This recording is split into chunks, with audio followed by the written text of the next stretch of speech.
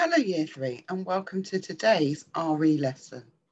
Our learning objective for today is, can I explain where and how colour is used to express religious feelings and ideas? We will explore where colour is used to express these religious feelings and ideas. We are going to watch a video of a visit to a church. While you are watching, find a variety of colours in the church and record where, how and why you think colour is used. So, once you have watched the video, you need to record some of the uses of colour with notes on feelings created and your thoughts on the purpose and reason of that colour choice. So your first task is to record some of the uses of colour.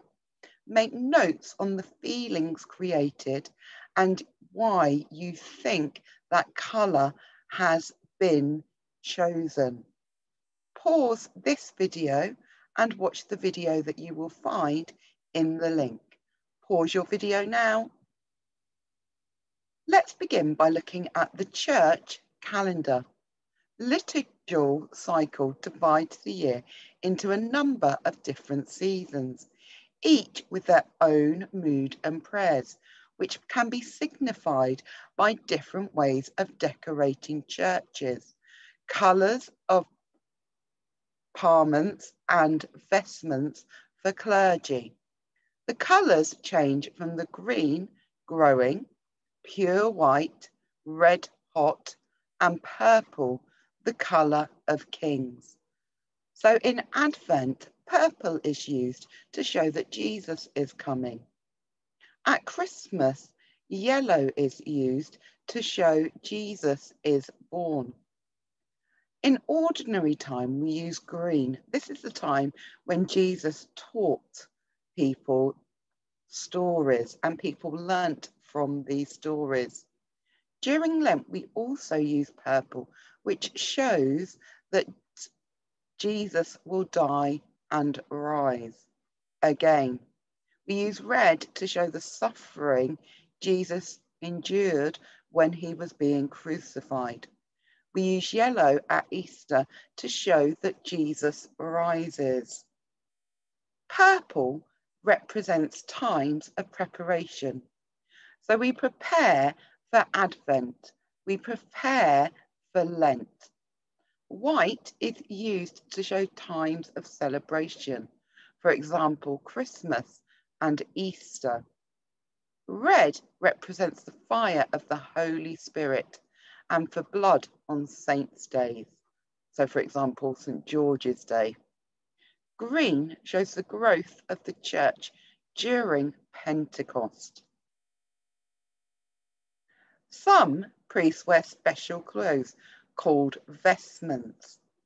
If you look here, you will see some of the different vestments that priests may wear. You will notice the colours change to represent the different time in the church year.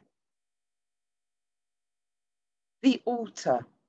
The altar is decorated to represent the time in these in the church year.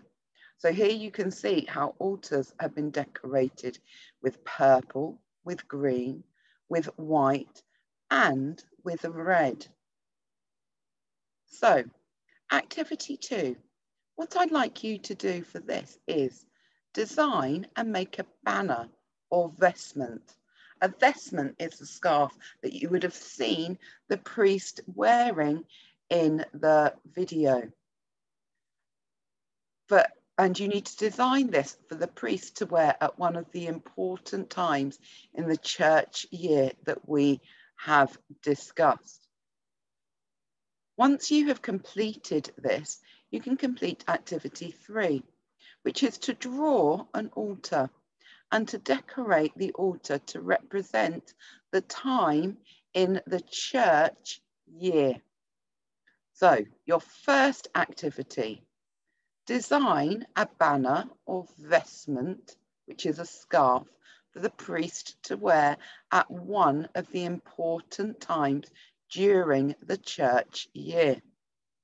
So you could design the clothes that you think the priest would wear, or you could design the scarf that you think the priest was wear, or you could wear, design a banner to display in the church to represent an important time in the church year.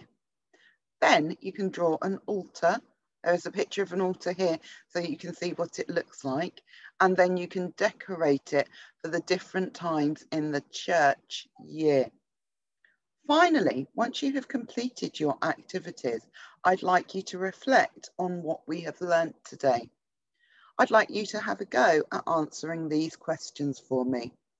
Our first question is, where and how is colour used to express religious feelings and ideas? Our second question is, where do you see colour in churches? Remember to take a picture of your work and upload it on to Tapestry for me.